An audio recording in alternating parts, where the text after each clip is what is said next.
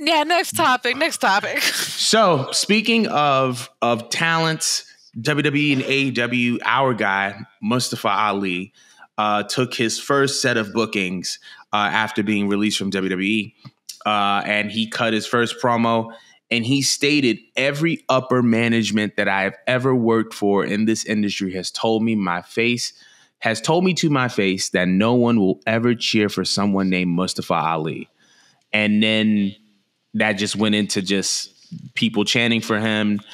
And then it's like they started chanting F them. And then he was like, no, better than F them, show them. Um, so I think I wanted to ask this. Do you believe number one, do you believe that? And number two, do you believe that Mustafa Ali has the potential to be a breakout star on the independent wrestling circuit? Um, I don't know. I always like Mustafa Ali, and I feel like as long as I known him off of WWE, he was very much over instantly, mm-hmm. especially with the kids, because like he has like this very interesting entrance with the light up and stuff like that. Um, mm-hmm. And people were buying his merch and stuff like that. He's very he he wrestles very baby face. Like I want to say when he was being a baby face on screen, he was definitely beloved. Um, I loved him. I think he's a fantastic wrestler. I think he's well spoken. Um, and it's so like I believe him when he says that upper management probably has said that. I could imagine a white male in a suit. Um, relaying this information. But it's just so odd when I think about it because while yes, wrestling is like a white male dominated sport, like we watched in previous times wrestlers of like ethnic races, you know, um, minorities, like get over. And the first thing that comes to my mind or two is thinking of Eddie Guerrero or Rey Mysterio.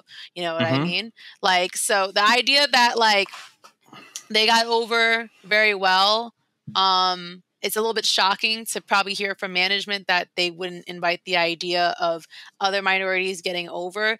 Um, mm-hmm. I know mm-hmm. the obvious reason why. We're not going to say that here, but I think he's fantastic. Um, and I think that he is just like a bright light that will just light up any room, any space that he's in because I feel like the fans know what he's capable of, but that he's constantly like either getting the short end of the stick or not being featured enough. And one thing I love and appreciate about Mustafa is that he knew he was in some pretty shitty angles, but any opportunity he had, he took that shit and ran with it. And he tried mm-hmm. to make it the best possible fucking thing. Um, down to how bad retribution was he just went for it and he tried to make it the best possible thing. And I was even kind of interested, in spite of like the production of it being really lame and corny, I was still interested when he at least spoke. Mm-hmm. Um, mm-hmm. and he has a very powerful voice. I feel like for some reason a lot of people just look up to him.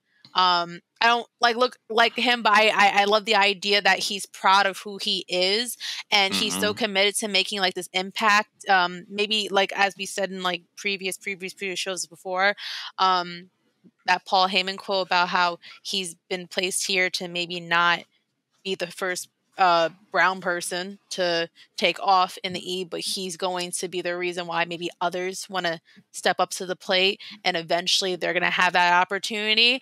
I feel like he's going to do it and it's just not going to be in the E.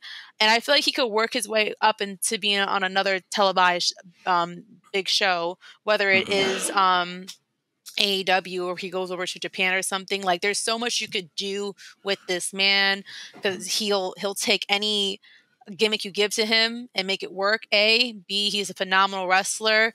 Um, did he ever have a title in the E? I can't remember. I don't think so, right? I don't. Also, it's a smaller so. title. I don't think so. I haven't seen I was, I yet. immediately thought about the cruiserweight title, but I don't think Same. he won that. Yeah, I don't even think he won that but he's like championship material. Like we watched him lead a faction. Um, I mean, mm-hmm. he lost he lost a few title matches, but he he carries like the energy of a champion and a main of eventer. A yes, and he's so humble. I love listening to his whole speech because he was thanking the person that he wrestled with, and he was saying, I wrestled with AJ Styles, I wrestled with Rey Mysterio, I wrestled with this person, this person, this person, and you're just as great as them. I love his energy because I also feel it in my heart as a fan watching him through the screen that he wants mm-hmm. to uplift everyone around him. It's not just about him and a mission just for him personally. He wants to see everyone eat. So I think it's a beautiful thing. I think he's a beautiful person. I think wherever he goes, he'll be happy and he'll make an impact. And he's definitely, this is not going to be the last we're going to see of him. He's definitely going to be back on screen. I feel like he would work really well in New Japan the more I think about it. Like, where he could be doing the same thing that Dolph Ziggler's doing, and it would just yeah. fit like a glove. But I want to hear your take, Jordan. I can see, I can see Mustafa Ali doing well in New Japan. I also see him doing well in TNA. Um, but I'm going to start by saying that I'm rooting for him. Like, I feel like he is under an unfortunate plight because I feel like the Islamophobia in America got turned up to 100 after 9 11. And because of that, it affected so many artists, entertainers, athletes, even outside of the wrestling space. And, and Ali being a brown person, it naturally affected him. And I feel like that definitely was a barrier, one of the reasons why they, you know, he didn't get over in the E. But I do feel like, like you said, he's just a genuine, humble person. He wants to uplift everyone around him.